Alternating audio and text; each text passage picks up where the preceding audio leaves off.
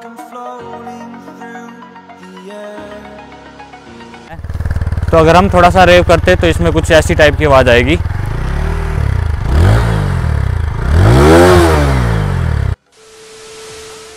Hello guys welcome back to my YouTube channel तो guys I hope आप सब ठीक होंगे।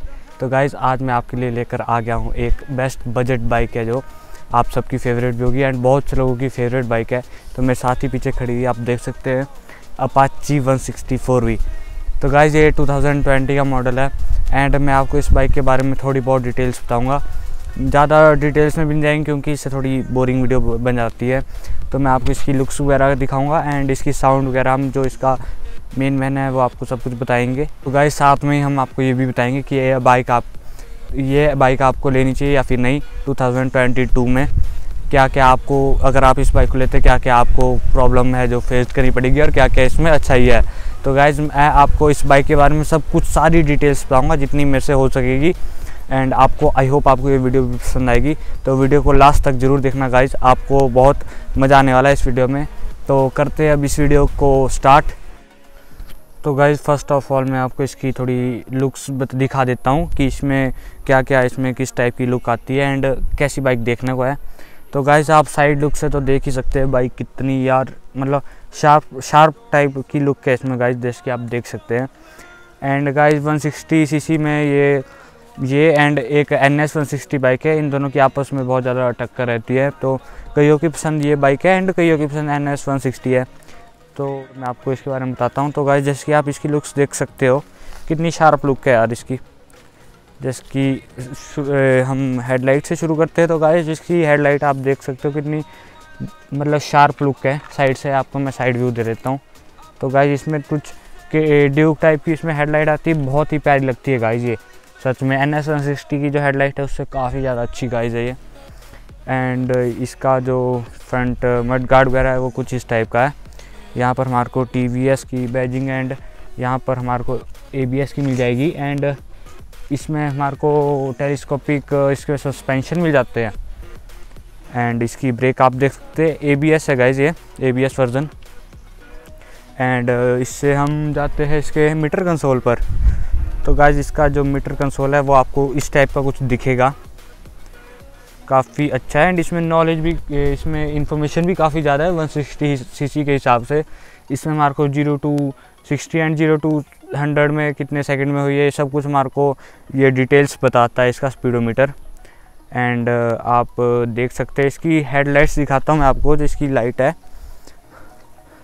तो देख सकते हैं गाइस इसके जो डी आर एल्स है वो काफ़ी ज़्यादा कमाल के हैं, जैसे कि आप देख सकते हैं.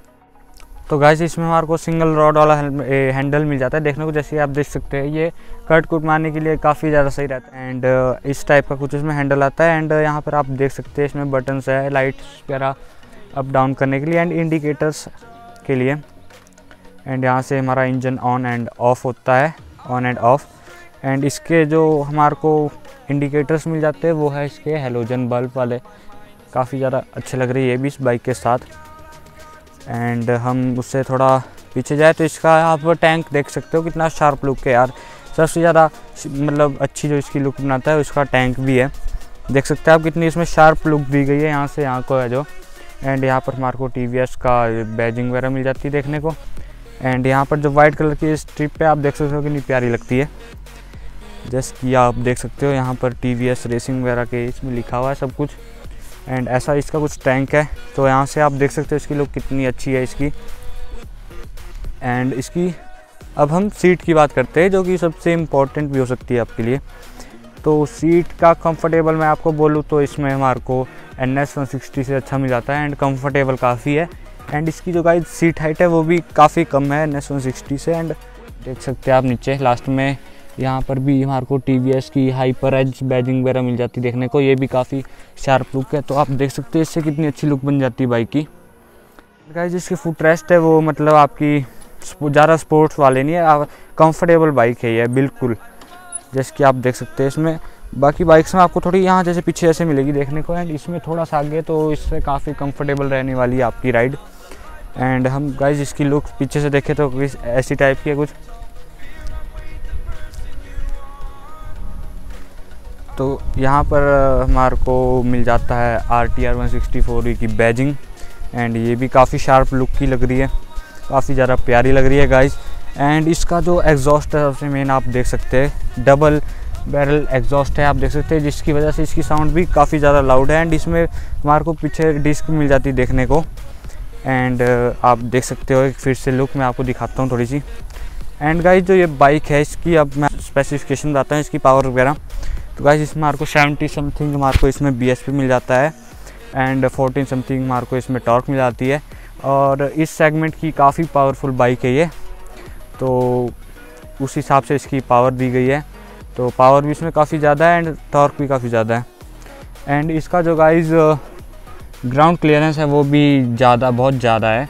तो हमारी ज़्यादा लगने नहीं वाली कभी नीचे। पहाड़ों पे जाओगे कभी तो तब भी लग सकती है। बाकी अदरवाइज़ ऐसे नहीं आपकी ये बाइक कभी लगेगी नीचे। एंड गाइस आपको मैं अभी इसकी एग्जॉस्ट साउंड दिखाऊँगा कि कैसा इसका एग्जॉस्ट एग्जॉस्ट है डबल बैरल एग्जॉस्ट है जो इसमें दिया गया। तो एग्जॉस्ट साउंड भी इसकी काफ़ी प्यारी तो मैं आपको अभी दिखाऊँगा, सुनाऊँगा मतलब। तो गाइज़ अब मैं आपको थोड़ा इसकी सीट हाइट के बारे में बताता हूँ। तो गाइज़ अगर आपकी हाइट पाँच फुट सात इंच भी है, जैसे कि अभी वहाँ पर बैठे हो राइडर तो गाइज़ आप काफ़ी कंफर्टेबल रहने वाले हैं इसमें। जैसे कि आप देख सकते हैं कि पैर पूरे नीचे लगे हुए ज़मीन पर और राइड करने में आप काफ़ी कंफर्टेबल रहने वाले इसमें। तो ये भी एक इस बाइक का एडवांटेज रहेगा हमारा। तो गाइज़ अभी मैं आपको सुनाता हूँ इस बाइक का एग्जॉस्ट नोट गाइज़ आप देख सकते हैं कि अगर बिना रेव करे भी इसकी काफ़ी ज़्यादा लाउड साउंड है। तो अगर हम थोड़ा दूर भी जाए तो काफ़ी ज़्यादा लाउड साउंड है इसकी, क्योंकि डबल बैरल इसमें एग्जॉस्ट दिया गया है। तो अगर हम थोड़ा सा रेव करते तो इसमें कुछ ऐसी टाइप की आवाज़ आएगी।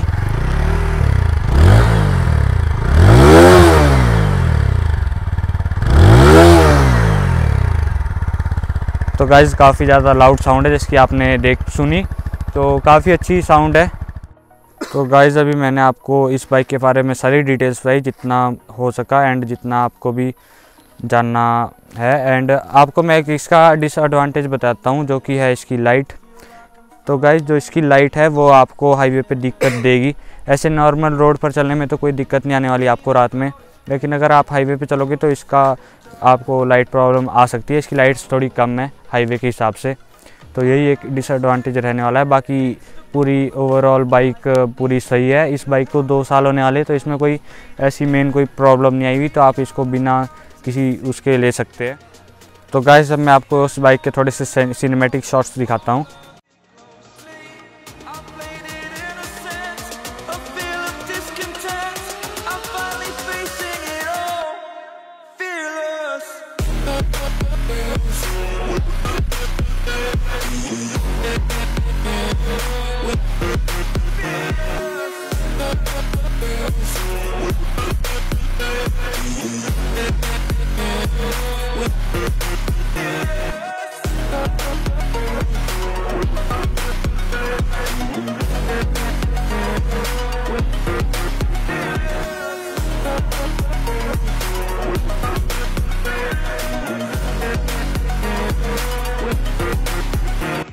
गाइज़ मैंने आपको इस बाइक के बारे में सारी मेन मेन डिटेल्स बता दी है एंड इसकी ओवरऑल लुक आपको मैंने दिखा दिया सिनेमैटिक शॉट्स के साथ।